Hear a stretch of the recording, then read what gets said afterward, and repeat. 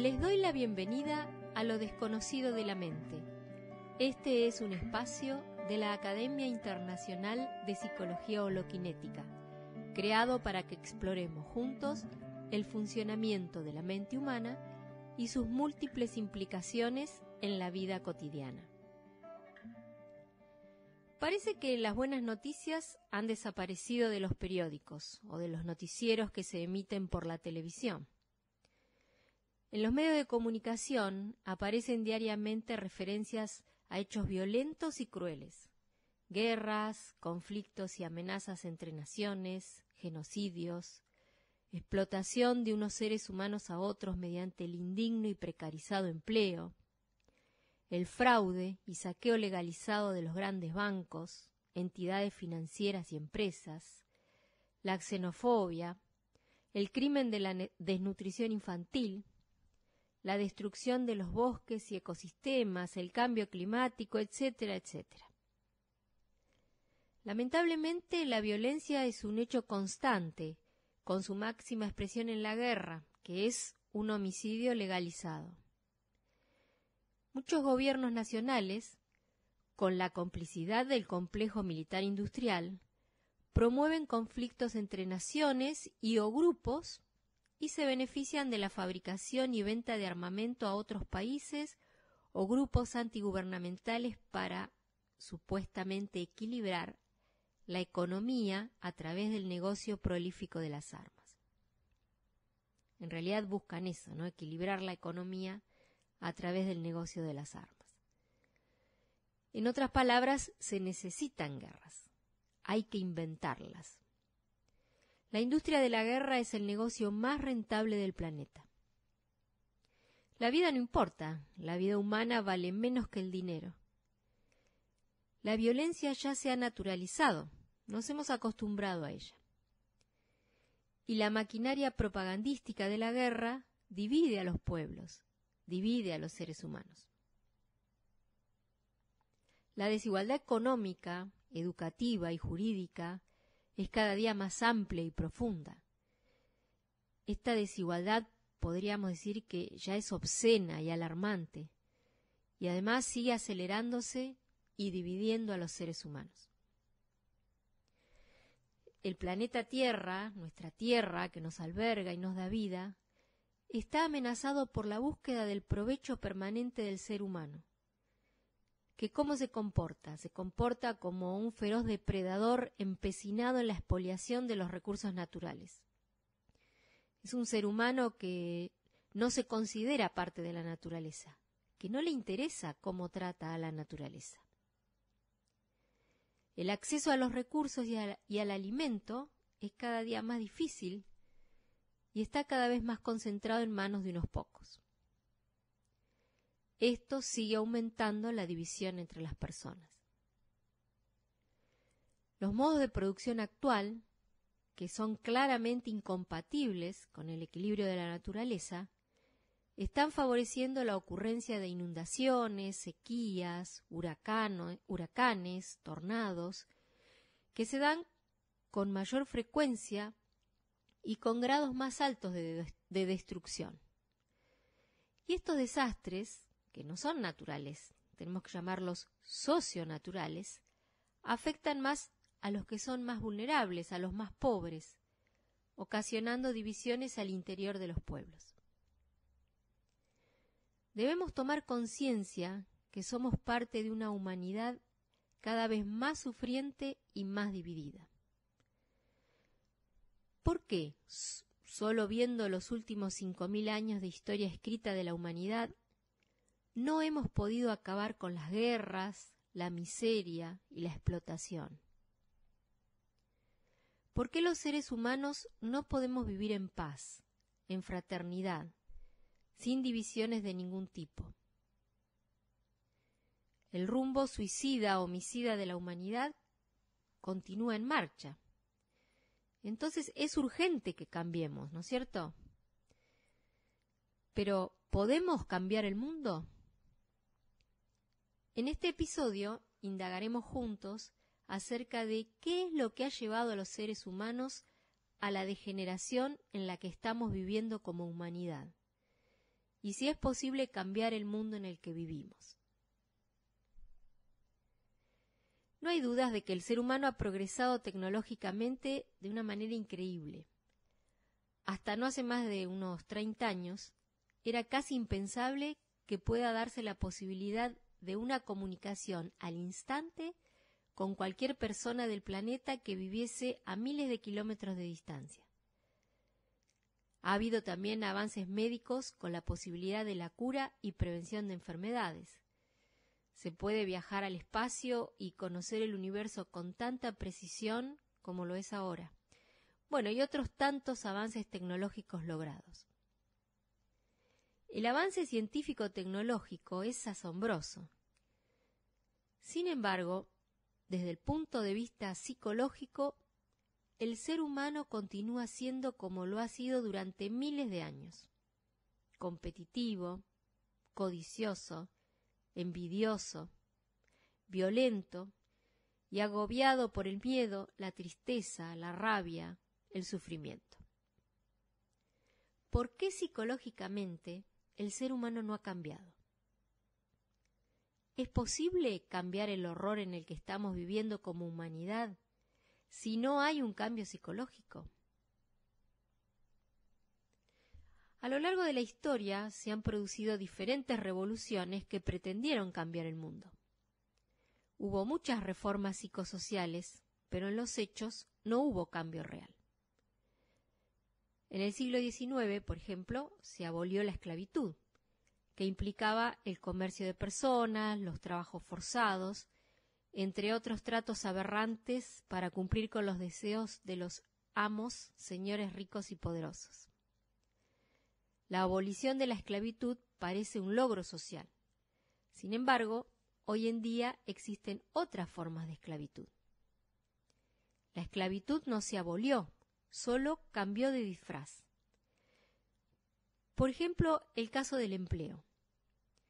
El trabajo full time, que implica deberse al empleador con una carga horaria excesiva, sin posibilidad de descanso o vacaciones, los bajísimos salarios con ingresos inferiores a lo que se necesita para no estar por debajo de la línea de pobreza, la falta de seguridad y de ambientes laborales adecuados para cuidar la salud del trabajador, etcétera, etcétera. Y hay otras formas de esclavitud. Por ejemplo, la esclavitud de no poder contar con el propio dinero porque lo manejan los bancos, o la esclavitud de las leyes de los estados que hablan de democracia, pero que gobiernan para una minoría privilegiada y empobrecen a la mayoría. La revolución francesa, por ejemplo, con el lema de igualdad, fraternidad y libertad, que pretendió derribar las monarquías con su poder absoluto, no fue muy duradera. Hoy diferentes formas autoritarias de gobierno, incluso en nombre de la democracia, violan constantemente los ideales de libertad, igualdad y fraternidad. Y han resurgido los señores feudales de la Edad Media, pero con otros nombres, las corporaciones transnacionales y las entidades financieras que concentran el poder político y económico del planeta. Podríamos decir que no ha cambiado la esencia de las cosas. La concentración de la riqueza existente mediante el latifundio del Imperio Romano, ¿no? el latifundio del Imperio Romano, que consistía en poseer grandes extensiones de tierra en manos de un solo individuo poderoso, hoy continúa. Continúa en los monopolios de las corporaciones y en los bancos internacionales transnacionales. Las revoluciones independentistas de los países americanos, para deshacerse del yugo de los colonizadores, solo quedó en el intento, ya que hoy somos víctimas de nuevas formas de colonialismo. La dependencia económica y cultural actual es tan esclavizante como la del pasado. Bueno, y así podríamos seguir nombrando otros hitos en la historia de la humanidad que lamentablemente solo quedaron en intentos de cambio, que alcanzaron pequeños logros pero transitorios y que con el tiempo se desvanecieron. Vale entonces hacernos algunas preguntas. ¿Por qué fracasan las revoluciones? ¿Por qué las buenas propuestas de reformas sociales y económicas no modifican la esencia de las relaciones en la sociedad? Es decir, ¿por qué no generan un cambio real? ¿Por qué cambiar una ideología por otra, creyendo y luchando por esas nuevas ideas, no transforma a la sociedad, no produce un cambio real? Desde hace cientos de años vemos emerger organizaciones sociales, modelos económicos, revoluciones políticas, modelos educativos considerados, considerados críticos, teorías sociales que se van sustentando en diferentes ideologías. Son todas producciones del pensamiento. Y vemos que, aun con buenas intenciones, en los hechos, no se genera un cambio real en la sociedad. Decimos entonces que hay una sobrevaloración del pensamiento. Si el ser humano cree firmemente, es decir, está convencido que la mente humana es solo pensamiento, intentará por todos los medios resolver los problemas de la humanidad con más pensamiento. Dicho metafóricamente, si la única herramienta que se tiene es un martillo, todos los problemas serán tratados como si fuera un clavo. ¿Cuándo nos daremos cuenta que no es posible un cambio en la humanidad solo con el pensamiento, con las ideas? ¿Cuándo nos daremos cuenta que hay mucho más en la mente que pensamiento, memoria y yo? Por más conocimientos que tengamos sobre tecnología, economía, sociología, ecología, etc., estos conocimientos de por sí no han de transformar al ser humano y a la sociedad. Como ya estuvimos diciendo, la historia así lo demuestra. Y no hay que confundir abundancia de conocimiento con sabiduría tenemos que ver con claridad cuál es el origen de todos los problemas que estamos transitando como humanidad. Tenemos que comprender el funcionamiento de la mente humana, que es la que gobierna nuestras conductas, para entender por qué, como humanidad, estamos viviendo una acelerada degeneración. Y el problema es que el cerebro no está funcionando con todo su potencial solo funciona en el ámbito del proceso, del proceso META o ámbito del pensamiento. Aquí está la raíz de todo conflicto humano. ¿Y por qué decimos esto? Para entender el origen del desorden en el que vivimos los seres humanos, debemos ver las leyes que gobiernan al ámbito del pensamiento. Entre, ellas, entre esas leyes es importante resaltar la inconsciencia y la incoherencia. La memoria, que es la que da origen al pensamiento, es inconsciente e incoherente. Las creencias, las ideologías, todas las imágenes que se tienen acerca de cómo deben ser las relaciones con las personas, las cosas, las propiedades, el dinero, la naturaleza, etc., están grabadas de manera inconsciente en la memoria.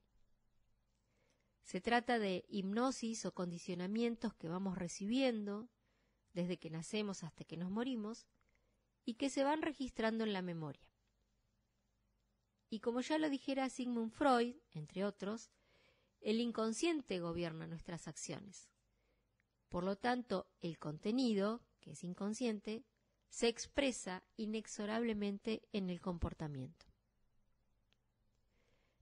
La creencia y el orgullo de ser nacionalista, católico, musulmano judío, blanco o negro, americano, ruso o chino, liberal o socialista, termina en violencias de todo tipo, hasta la más cruenta guerra. La creencia en la importancia de ser competitivo, de alcanzar el éxito o la fama en la vida, de ser ambicioso para ser algo o alguien en este mundo, lo que hace es generar conductas individualistas, no solidarias, y desemboca en la desigualdad social, económica y jurídica. En cada hipnosis o condicionamiento hay un olvido de su origen. No nos cuestionamos por qué creemos en esto o aquello y lo defendemos a muerte. Esto ya lo hablaba Bergheim, colega y contemporáneo de Freud. Como en los ejemplos mencionados antes, vemos que las hipnosis, que son inconscientes por definición, cuando se expresan en la vida cotidiana, generan desorden, divisiones y sufrimiento de todo tipo. Hay que ver también que los contenidos de la memoria, además de ser inconscientes, son incoherentes. Y la incoherencia suele pasar desapercibida. Hay muchos ejemplos de incoherencia social que, que, nos demuestran esto que estoy afirmando, ¿no? que la incoherencia suele pasar desapercibida. Por ejemplo, se crean organismos internacionales para defender la paz, la independencia y la democracia en todos los países, como por ejemplo la Organización de las Naciones Unidas, y sin embargo, los países que forman el Consejo de Seguridad, máximo órgano de la ONU, la Organización de las Naciones Unidas, son los principales fabricantes y vendedores de armas, y varios de ellos pertenecen a la OTAN, que es la alianza o la organización del Atlántico Norte, ¿no? Es una, alianza militar que permanentemente están promoviendo los conflictos entre estados nacionales y también al interior de los, de los mismos países. Se promueven tratados ambientales por el cuidado de la tierra, pero los que más daños ocasionan son los países altamente industrializados y las corporaciones son los que menos los cumplen. La incoherencia va de la mano de la contradicción propia del pensamiento y forma parte de la ley de la dualidad, otra de las leyes que rigen el pensamiento. Y la ley del egocentrismo, ya sea individual o colectiva, por ejemplo, primero estoy yo como individuo o primero estamos nosotros, ya sea una nación particular o un grupo particular, la ley del egocentrismo se expresa en la búsqueda de las cuatro P, que como decimos en psicología holoquinética, son los objetivos que percibe el pensamiento. ¿no? Las P del poder, del placer, del prestigio y del provecho. O sea, ya sea de manera individual o como colectivo, siempre se están persiguiendo estas cuatro P. El poder, el placer, el prestigio y el provecho. Algunos, muchos, siguen creyendo que con la educación se puede cambiar el mundo, que modificando o que modificando los procesos productivos se va a mejorar la economía y el ambiente. Sin embargo, toda acción que pretenda generar un cambio, aunque tenga buenas intenciones, termina corrompiéndose por el egoísmo y la búsqueda de alguna de las cuatro P, ya sea provecho, prestigio, poder o placer. Que en realidad no están, no están entre ellas separadas, ¿no? En la búsqueda del provecho también hay búsqueda de prestigio, poder y placer, todo al mismo tiempo. El egocentrismo, la búsqueda del interés propio, querer asegurar el futuro, buscar seguridad identificándonos con alguna creencia, ocurre por la percepción fragmentaria que tenemos de la realidad. Es decir, nos creemos separados, independientes unos de otros y separados también de la naturaleza. Esta percepción fragmentaria es la raíz de todos los problemas. Nos creemos separados, pero sin embargo no estamos separados, porque el funcionamiento de la mente humana es el mismo en todos nosotros. No importa que tengamos un nombre que nos identifica, que vivamos en lugares diferentes, que hablemos otras lenguas o tengamos diferentes costumbres. El miedo, la rabia, la angustia, la ansiedad, la codicia, el egoísmo que hay en cada uno de nosotros contaminan psicológicamente toda la sociedad tenemos que darnos cuenta que somos la sociedad y lo que cada uno haga afecta a la humanidad entera. Tenemos que comprender que somos la humanidad y que psicológicamente somos todos uno. Mientras los seres humanos no nos demos cuenta de este hecho, no habrá cambio posible. Seguiremos eternamente en conflicto. Y bueno, así en el, en el trajín cotidiano, ¿no? viviendo en percepción fragmentaria, esta vida conflictiva y sufriente es sentida por, por el ser humano, es sentida por las personas como un gran deseo de escapar. Por eso es que muchas personas eligen evadirse con el alcohol, las drogas, los viajes, los eventos sociales, la religión, los gurús, el sexo, etcétera, etcétera. O bueno, también hay quienes de manera cíclica y repetitiva como lo ha estado haciendo el ser humano a lo largo de la historia, buscan alivio en la creencia fantasiosa y romántica de que los problemas se resolverán con alguna revolución social o con un cambio radical de ideas. Bueno, entonces, ¿no hay salida? Un cambio en la humanidad es necesario y es posible, pero la salida no es con un cambio de pensamiento sino con un cambio de percepción. Es necesario que el, cerebro opere con todo su potencial y darnos cuenta que la mente es más que pensamiento. Es necesario que se active en nuestros cerebros la percepción unitaria. Nos dice el iniciador de la psicología holoquinética, el doctor Rubén Feldman González, lo siguiente. La percepción fragmentaria, parcial, particular, partidaria, es lo que nos induce a negar el hecho de que la civilización industrial está en colapso global.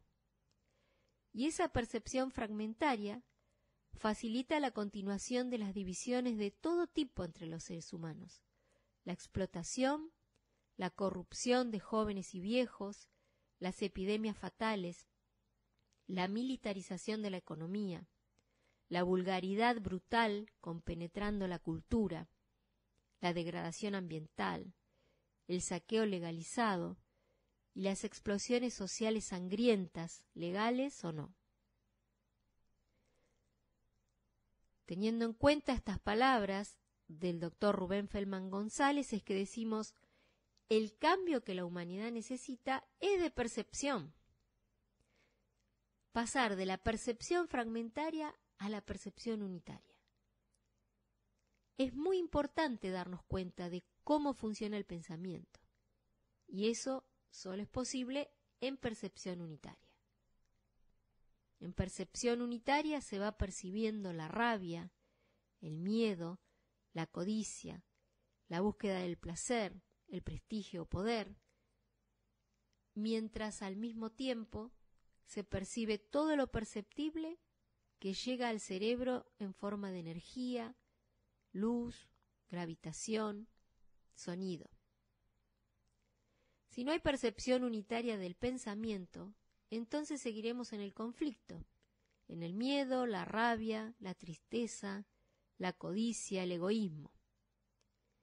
Si no se percibe en percepción unitaria lo que realmente somos, miedo, rabia, tristeza, ansiedad, codicia, deseo de tener el futuro asegurado, no va a haber cambio. Sin percepción unitaria de todo lo que somos a cada instante, no hay cambio real en nosotros. Y si no hay cambio real en cada uno de nosotros, no lo hay en la humanidad. Queremos cambiar la sociedad, pero para ello tenemos que cambiar cada uno de nosotros. Y es así como habrá un cambio psicológico en toda la sociedad. Porque ya hemos dicho que no estamos separados. Un cambio radical en la mente de un individuo ya es un cambio en la humanidad. No podemos creer que este horror mundial vaya a desaparecer sin un cambio radical de la memoria incoherente y el pensamiento que de ella surge, sin un cambio de las emociones y las conductas, de las creencias y las ideologías que surgen de la memoria confusa e incoherente. Tenemos que ver la incoherencia, la confusión, la irracionalidad que impiden la compasión y la vida en paz. Pero solo es posible verlo cuando se activa esta función cerebral que está latente en cada ser humano y que es la percepción unitaria. Para salir del conflicto es necesario ver el conflicto en percepción unitaria. La percepción unitaria es la acción fundamental y es la salida del horror de la condición humana actual. Las intenciones humanas de cambiar el mundo, que se basan solo en el pensamiento, en ideas, creencias, ideologías, son insignificantes, superficiales, y no generan un cambio real y profundo. Todas las revoluciones exteriores fracasan. La verdadera revolución es interior. Y no hay revolución interior sin percepción unitaria. Resumiendo, hemos estado viendo que somos parte de una humanidad cada vez más sufriente y más dividida. El ser humano ha logrado grandes avances en ciencia y tecnología. Sin embargo, psicológicamente continúa siendo, como lo ha sido durante miles de años, competitivo, codicioso, envidioso, violento, agobiado por el, miedo, la tristeza, la rabia, el sufrimiento. Dijimos que el ser humano ha querido cambiar el mundo mediante modelos económicos, revoluciones, teorías sustentadas en diferentes ideologías, etc., pero la historia nos demuestra que todos esos intentos han fracasado. Ningún cambio radical se ha producido. También dijimos que todo intento de cambio que esté basado en el pensamiento no producirá ningún cambio real. Las leyes que rigen el pensamiento son las que permiten entender el origen del desorden y conflicto en el que vivimos los seres humanos. Finalmente dijimos que es necesario un cambio de percepción, de la percepción fragmentaria del pensamiento a la percepción unitaria. No hay revolución posible sin percepción unitaria. Sin percepción unitaria de lo que somos a cada instante, no habrá cambio en nosotros. Y si no hay cambio en nosotros, no lo hay en la humanidad. El cerebro puede funcionar de una manera armónica y completa, pero solo opera de una manera fragmentaria, es decir, en el ámbito C o ámbito del pensamiento y la memoria. El hecho de que el cerebro no funcione con todo su potencial es lo que ha dado lugar a la guerra, la miseria, la explotación, el racismo y todo tipo de divisiones. Tenemos que descubrir en carne propia que la mente es más que pensamiento. Y para que el cerebro comience a funcionar y florecer todo su potencial, es urgente y necesario un cambio de percepción. Insistimos, de percepción fragmentaria a percepción unitaria. Por eso, este podcast es para que vayamos explorando juntos, en cada episodio que vayamos compartiendo, lo desconocido de la mente. Para conocer más sobre el tema del episodio de hoy y la psicología holoquinética, entra al sitio www.percepcionunitaria.org. También se pueden bajar libros gratis del sitio www.holokinesislibros.com.